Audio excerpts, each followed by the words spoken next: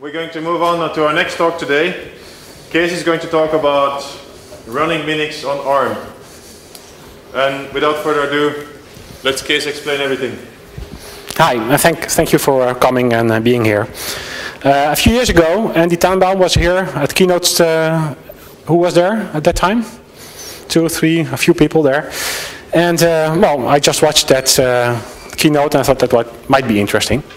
And uh, later on there was a little sign note on the jobs uh, posting saying searching for a programmer uh, for the Minix team.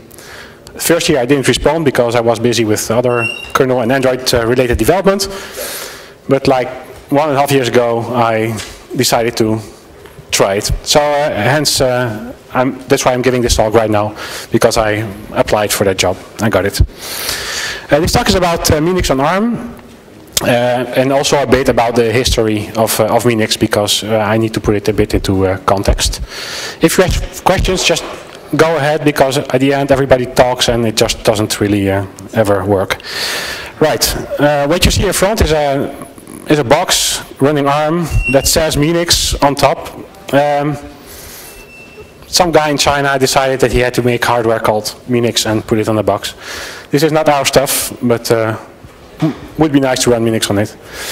Right, if you get bored during the speech or the, the talk, go to Minix on ARM, the wiki, try and download Minix, build it, and uh, you might learn something. Right. Um,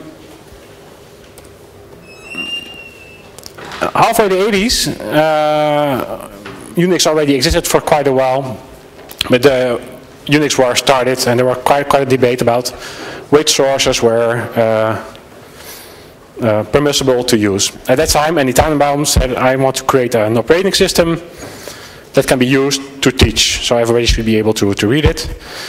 So he created uh, Minix, Mini Unix in 1987 uh, with a book, Operating System Designs and Implementation.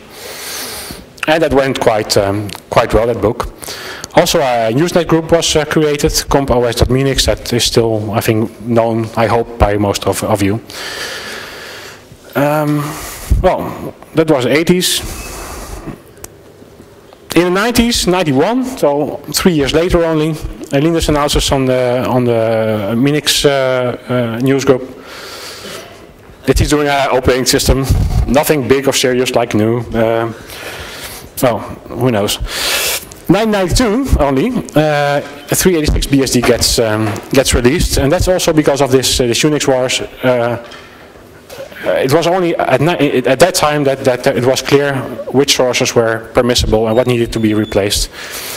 Um, so if you put it into context, you really see that Minix and in Linux three, four years difference, and we're talking now about 25, 30 years ago. So that's quite an interesting start that they both had around the same, uh, same time. Uh, Minix, however, always remained uh, a, uh, a, tool uh, for educational purposes, but also with vision. The vision was to be able to teach OS and just keep it simple. And that's why also many people wanted to add functionality to Minix, but that didn't happen because it would not be suitable for the book anymore because you could not be read the code because it would become uh, too, um, too complex.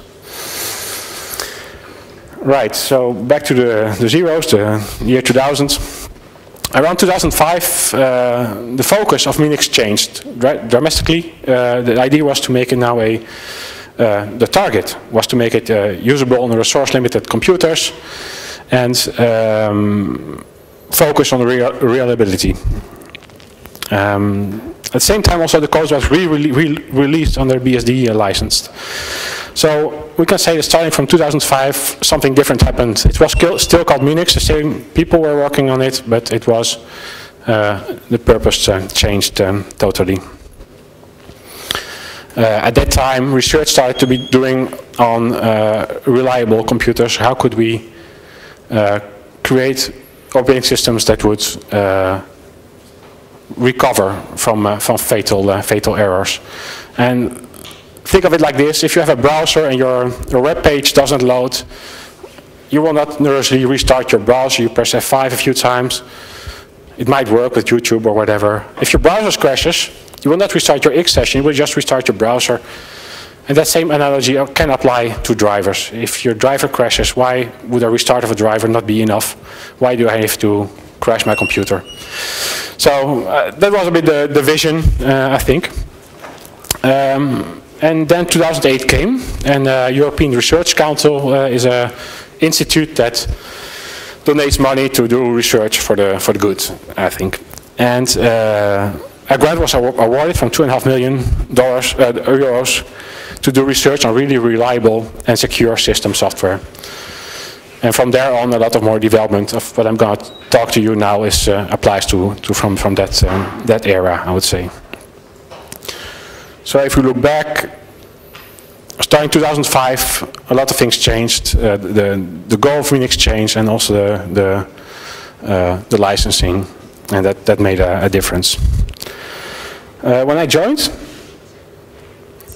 uh, Minix 3.2.0 was just released. That's in uh, 2012, February 2012. And it contained a few interesting features, I think, uh, right now. Uh, was a default compiler, which I think doesn't happen yet on uh, Linux, for example. But uh, most of also all the features that were implemented in the past during the research are now part of the of the operating system. So Minix could could recover from uh, crashing stateless drivers. So many drivers in the system can be separated into drivers that will have a state and those without. Those who don't don't have a state are quite easy to recover from you just reinitialize the hardware and you'll, you'll be able to, uh, to continue. Some drivers will be harder because you'll, can you hear me? Is there, sorry. So some drivers will be uh, harder to restart because they contain states. Uh, so the research also went in that area. What can we do to recover those drivers? Uh, and that's basically what happened is that you could split the, the code and the, um, the data that means that you can restart your driver and re get your data back, uh, back again. Another area of research is uh, live updates, where you have a driver, you might know there's a fault in it, and you would like to restart it. You would like to replace it with newer version of the same driver. Then you also need to take over that state information. And uh, a lot of that work actually is based on uh, Clang because you can uh, instrument your code and know what variables are and, and, and do things like, like that. That live update is not part of uh, 3.2.0. Um, also, a lot of changes were integrated. So no longer it was a, a small self-written li library C, no longer it was ls self-written, but more and more code was imported from NetBSD. Uh, uh, the switch to the file format. So uh, I think 2012, uh, when I joined, was already a, a Minix that was uh, not like we know it or knew it, uh, I guess. So what, what does it look like uh, currently? Um, basically there's, there's a kernel um, process, one single process that will run uh, in a supervised mode and will do really the bare minimum uh, possible, which is uh, IPC, so inter-process calling, uh, low-level interrupts, context switching, timers, a little bit of startup, but that's, that's it. And um, most of the other features are implemented as normal user processes, just above which you, uh, where you see, and uh, are separate processes. Uh, even things like uh, virtual memory management is extracted from the kernel, and that poses some interesting challenges, but that's what happened. Process management happens there. And uh, drivers also are just normal processes that can do IPC to the, to the kernel. Above that, there's still the NetBSD libc and the, the novel POSIX tools you'll, you'll find. So, um, from a user's perspective, you should not notice too much. That's its Minix uh, below, but uh, right. I hope that's clear. Um, so also on startup you will get like 12 processes, one kernel that gets loaded and 12 modules and it will need to do some some starting of, of those processes before the init can be uh, called. Features, reliability, driver restart I already mentioned. Ease of code development, because uh, you have those small drivers, it's quite easy to uh, fiddle around with a single driver, copy a file and just start it, try it, uh, remove it, a bit like kernel modules but a bit more flexible I would say. And very interesting feature is it's, it's a single build system. It's self-contained. So you do a git, if you clone, if you follow the, the guide I just posted, you'll see that you just do a git clone of, a, of code and it will, you call a build script that will build your cross compiler, it will build, build all your host tools and, and, and the end will be an image that you can flash. So we, we made some choices there. Um, right, now to ARM I think, we need that. um, why Minix on ARM? Well, the second point said already like Minix didn't make it until to the desktop. It just didn't happen. Linux barely did it. Uh, so on ARM, a lot of more uh, chances are to be made uh, for uh, for a smaller operating uh, system. Also, embedded hardware uh, could make good use of the features that Minix has, the, the driver restartability and, and things. Um, so in the end, it's uh, it's an it's an effort to make it more appealing to uh, to people. Um, yeah. The target we choose for for this is a BeagleBoard XM, which is a board from uh, Texas Instruments uh, that released like five six years ago. They they did their first uh, release of that board. It contains a uh, OMAP 3 system on chip it's a Cortex A8 ARMv7 uh, system with 512 megabytes of, of RAM. Um, it was a nice system to, to target because um, the documentation is good, open, uh, there's a good community around it, uh, and there was an emulator for it also. There's a QEMU emulator to emulate that target, which is very nice if you develop low-level code to be able to grab uh, that stuff. So pointing to, uh, to ARM from, from where we were, from an OS perspective, what does it mean? Uh, so we have different color codings here. Uh, the blue things are things that needed to be modified because the kernel is a single thing. Uh, so low level interrupts, of course, uh, context switching, that code, the low level assembly code was, was to be changed uh, overall above the li libc and a lot of things were just unmodified. It's all C code, and the, so there's there's a lot of code that was not modified. The things you see modified blue also uh, above is the virtual memory manager. I'll discuss later, and just driver work, which all are things that you need to do anyway. Uh, but overall, the the the changes were not that uh, not bad for that part of the system. So what you do, you go, you go assembly programming, you do your interrupt uh, handlers and all that stuff. Uh, it's very interesting, but reality is a bit different, I'm afraid. Uh, you have to do a lot of things before you you'll get to uh, to the a working operating system that's been uh, ported. Uh, of course, cross compilation, which might sound like trivial, but if you come from a system that really was designed to be able to build on the same system and run on the same system, all of a sudden you can no longer use system headers. You can. There's a lot of things that that, that happen that, that you'll just have to to cope uh, with. Uh, stolen from NetBSD. Uh, build system, uh, same story. Mostly uh, stolen from uh, NetBSD, how they do their their stuff.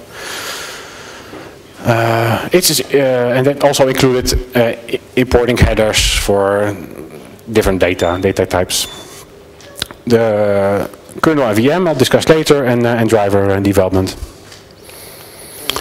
Um, I'll discuss it already. Right. Mixed kernel already discussed actually I think yeah so uh, what's interesting to say if you look at uh, the specific part I mean uh, ARM specific part of uh, of the kernel it's about 3000 lines of uh, of C code and like 700 lines of assembly code. So that's a bit uh, amount of code that, that needed to be added. And uh, that includes uh, the OMAP specific things like timers and, and things like that. So that's quite quite small actually, I think. It's like a, a normal driver for some some some uh, some piece of, uh, of hardware. Um, yeah. More interestingly, uh, because of its history, uh, Minix didn't, did not use page tables at all before uh, before uh, 3.2.0. Um, it uses something called segments, Intel segments, which they work differently, which I actually don't know exactly how they work. Um, so a, a, big part of, of the work to get it working on ARM was implementing page tables, implementing that both for Intel and for uh, for uh, for ARM. Uh, so map regions will, is more that we map uh, ELF sections to uh, page tables, so we, we can do that. Most of the time, I spent anyway, was debugging caching issues on ARM because it's complicated and it's uh, really complicated uh, above what you expect. So uh, where I came from, I did kernel development, I did Android development, but some areas you just you just don't touch. You just it works already, or you call the vendor. I don't know. So it was very interesting to to work in that area, but it was also quite a, a reality. Like it's it's not it's not that easy. Um, Minix, because it has all those different processes, there's a lot of context switching. Because if you call the, want to do a simple system call, get time or something, it will, well, get time is not a good example, but another system call, uh, it will call the kernel and then really do a context switch to the whatever process is in, in uh, charge of implementing that, that system call and switch back. So a system, system, a simple system call can cause two context switches to uh, to happen. While on, on Linux it will only do one because it will go to supervisor mode and, and go uh, go back. So we need to do some more work on uh, improving that. Uh, it's both challenging, but on the side also there's so much work to be done on just getting the the system to build work properly and have a reproducible result that we didn't uh, we didn't uh, get to uh, to that yet. Help is welcome, by the way. Uh, the driver model of Minix is, is interesting, I would say. It uh, matches very well what you do when you do bare bones programming. You will read out stuff, you will wait for your interrupt and you will continue your stuff. You will not have to take into account that you're in a kernel, that, that you cannot halt the system. You're just doing one thing. And yeah, the rest of the, the system it doesn't, uh, doesn't impact that. And uh, that matches pretty well with, uh, with what the Minix drivers do because they are just normal processes. So they are allowed to sleep, they are allowed to do most things that you expect from a normal C, um, C program.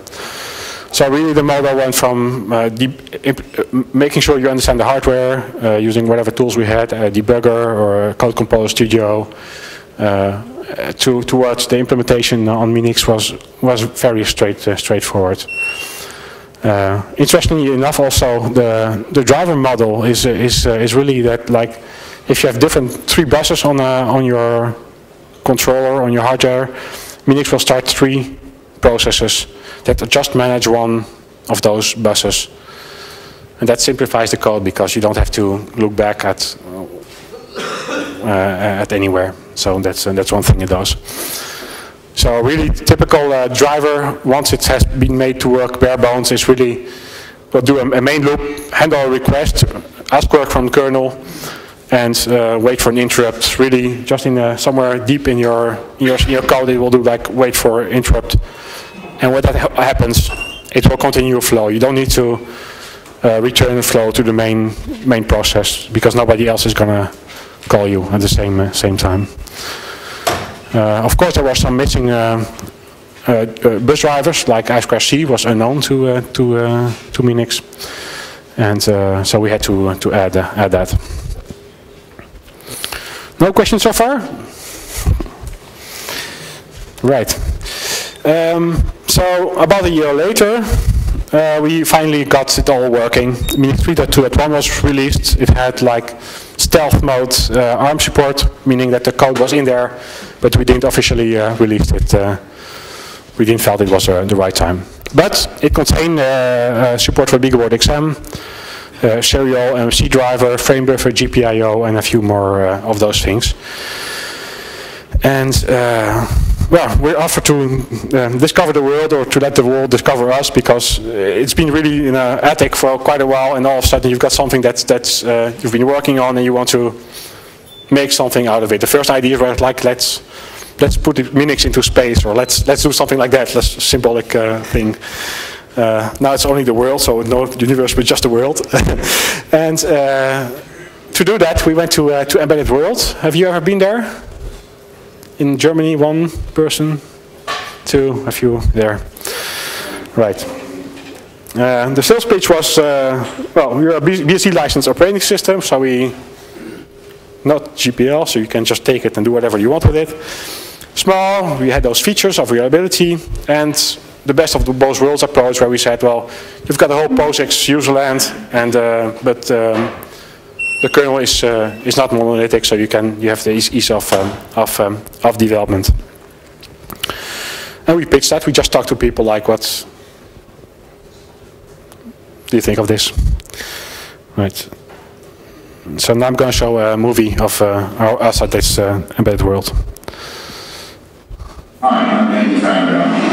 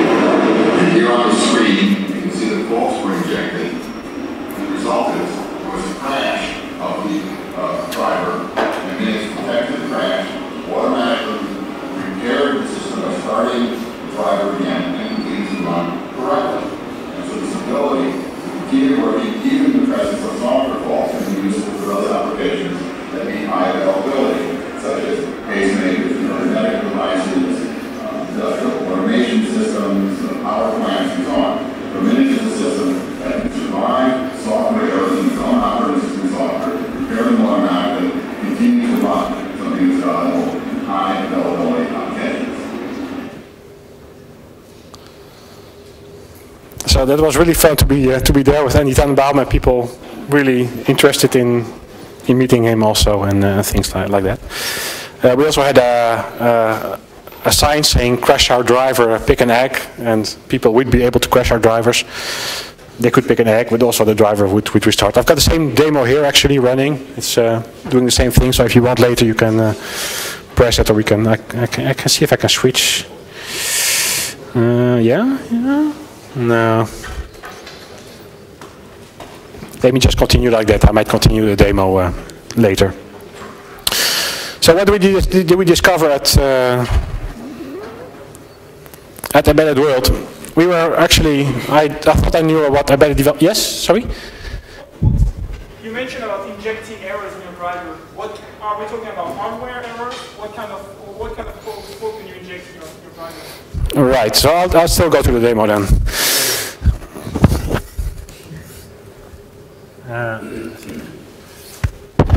So this is uh, the demo. This is, if I press on the button, it will start counting here. Uh, stop it, and it's going to inject faults. So what kind of faults can we can we see?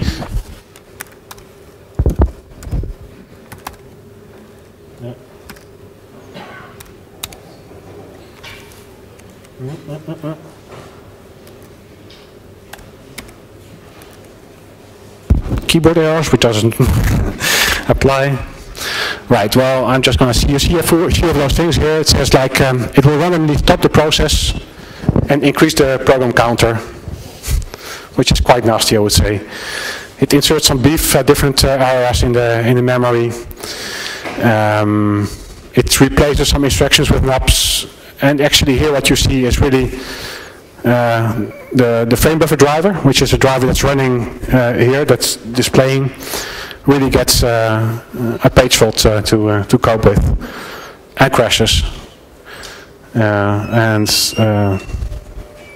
after that, it just restarts itself immediately. Restarting is not per se the, the, always the best thing to do.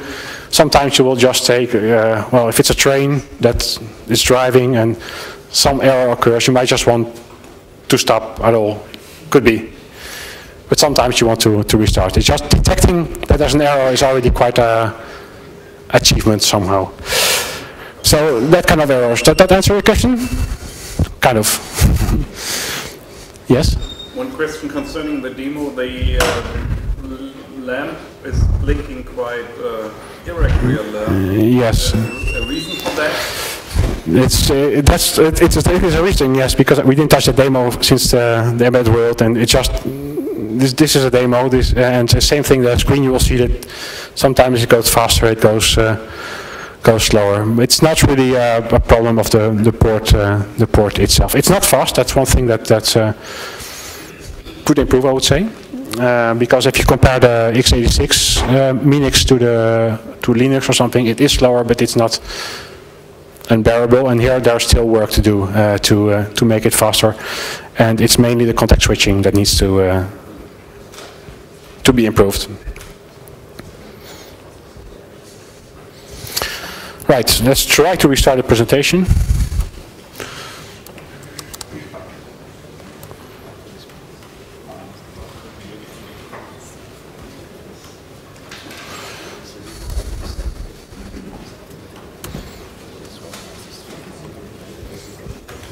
Right, so we went to uh, Embedded World and uh, uh, we expected like the competition. What's the competition of Minix? I don't know. I would say Linux because that's all I've seen uh, so far. It was not at all like that. if you go to Embedded World, you discover that, that, that many people you talk to don't know Linux. So who you're talking to, you're talking to people who are used to uh, developing for very small devices, doing high drill time, and they're either open source or ask a shit lot of money, a whole lot of money, sorry, uh, for uh, for what they do. Um, from free to, to, to very expensive. Uh, many just run a microcontroller. Some will do will run will be able to run multiple threads of a single process but still will not, will not do proper uh, uh, detection of, of, of, error or it will all run a single address, uh, address space. and then there's the entry of Linux in that, in that market.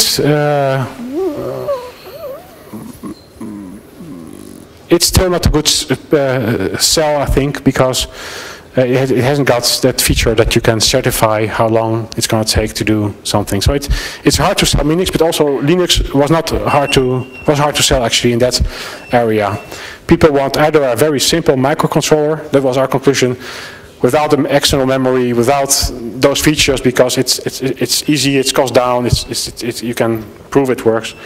And the higher you go in the full chain, the harder it gets.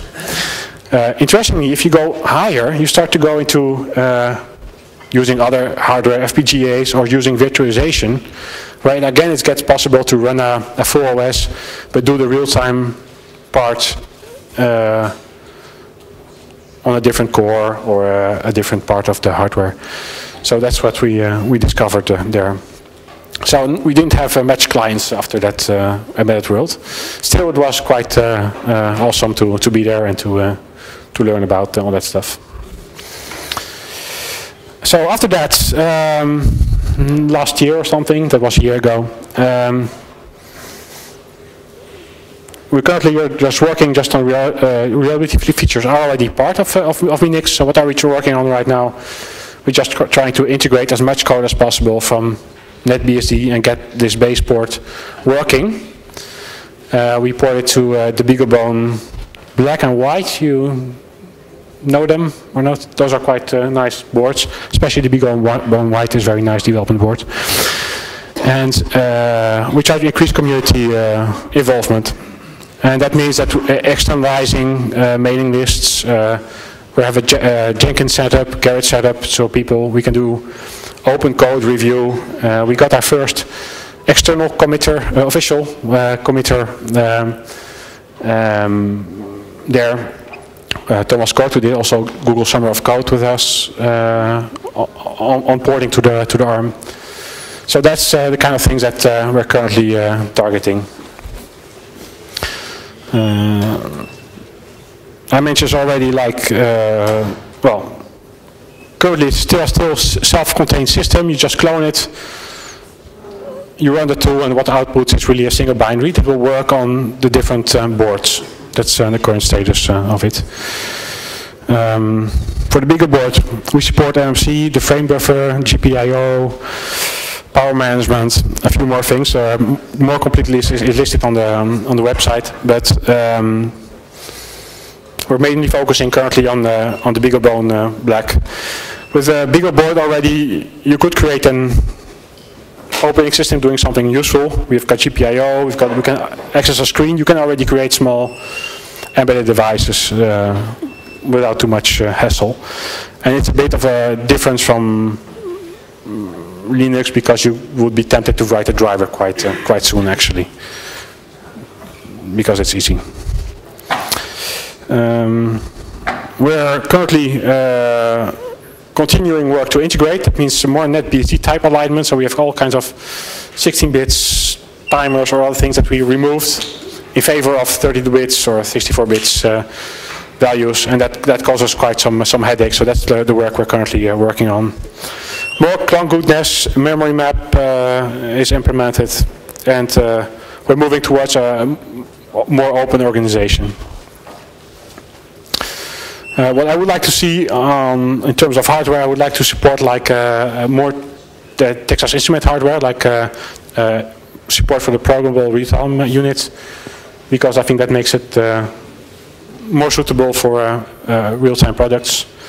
And I would like a second port to something like an Allwinner CPU, because those are cheap and not well documented. Um, that concludes my talk. Uh, I've, I've, not done most, uh, let's say, um, the port has, was done in two and a half years, one and a half years, two and a half years. Uh, and so many people worked on it. Ben Gras worked on, on it from 2005, uh, has been part of the Minix team. Linux just uh, one and a half years ago. Thomas Veerman did the frame buffer driver. Arun Thomas did the initial work for the ARM port. And Thomas Cort was a Google Summer of Code uh, student feel free to ask uh, questions. Or not. Did anybody get it working? Yes? How do you cope with drama latency if you put them into the user? Okay, sorry, can you repeat? How do you cope with drama latency if you have a context switch back to user land if you run your drivers in, in user land? Right, so the, the question is how do we cope with uh, latency of the driver because we have to switch back to, uh, to user land?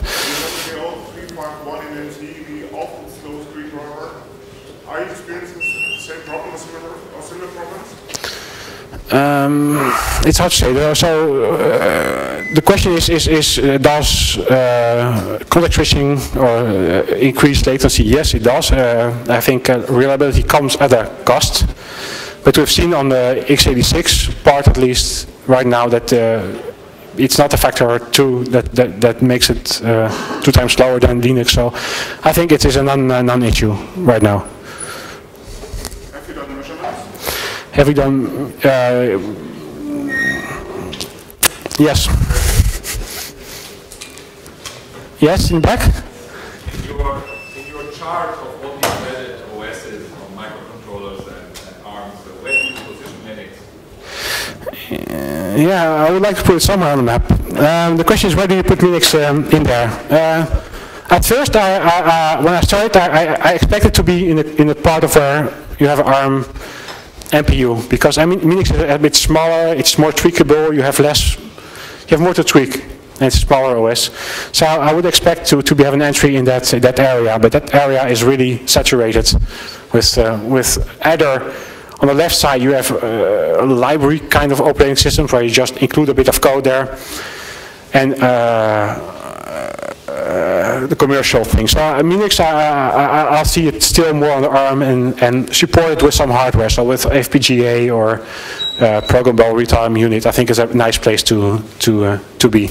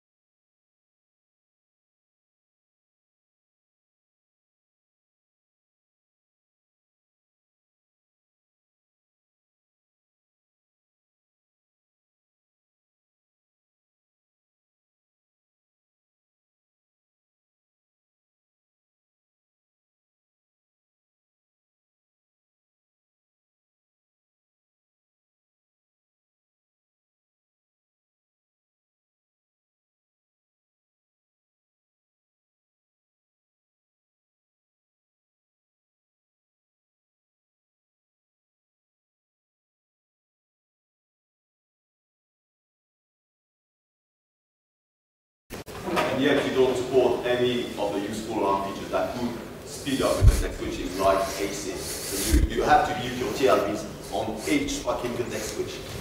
So do you have any plan to fix that? that, that if you're targeting smaller arms you really have to do that. Uh, it is very high on the wish list. uh, but currently uh, there are no direct direct plans. As soon as we have time to do something at that area, uh, we will do it. But currently, uh, the work that's happening is on uh, aligning with Net uh, with NetBSD to be able to uh, integrate all the boring code, all the libraries, all programs to be able to to get those one running. Because if we have fast context switching but no applications, it's not such a good sales pitch either. Well, if, if you don't have a, a, system that actually performs, what's the point in adding features? I don't know, I, I, I would advocate for concentrating on, on getting something that is good enough and robust and fast before adding uh, you know, tons of features. So uh, the suggestion was to make it fast first, and uh, I'll take that into account. Thank you. Yes? Uh, well, there are other uh, microkernel-based operating systems, including open source ones. Wouldn't it be a good idea to combine efforts with them? Maybe exchange drivers in some of the user space, servers implementing different operating system functionality? Right, so the question is, uh, you're a microkernel-based operating system, why don't you go together with all the other microkernel-based operating system and uh, get all together, get along, do your, uh, yeah. Um, there's a uh, microkernel uh, the room uh, at FOSDEM, so people are talking together about that stuff. Um, um, we research, uh, we actually in, have implemented two things in the last three years. Uh, one was called DDE Kit, which comes from the Dresden University, which is an uh, OS abstraction for things like threads, uh, memory access, um, all the things that every driver needs. And a few drivers were written on that. Um, so that's currently how we've got our USB support, is through those interfaces implemented. And then even using, uh, for USB for support, we're using the, the um, Linux uh, stack.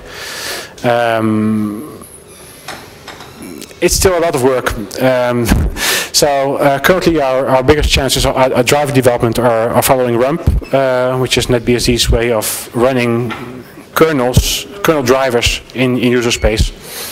And we're investigating uh, that. Um, yeah. But if you look at the chart, uh, uh, if, if, we currently we're, we're, focusing on the BeagleBone Black, and we've got enough drivers for it to do something useful. USB is what we're working on to, because we want to be able to make a small NAS appliance or something something like that. So we don't currently don't feel much need to do to do that. But it's a weight of, of effort to do that for everybody. Yes?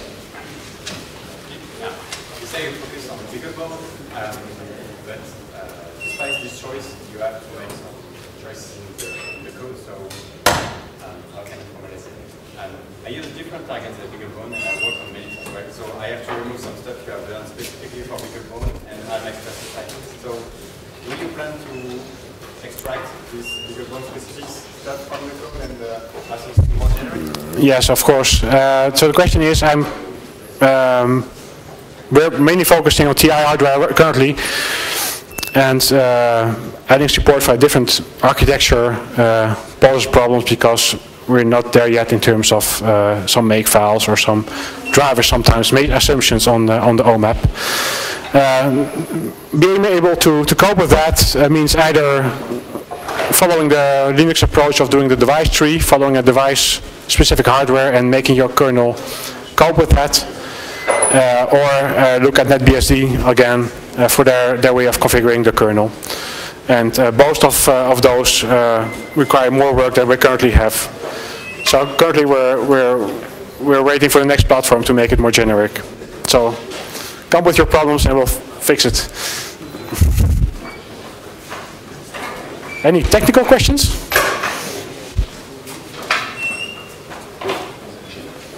Thank you very much.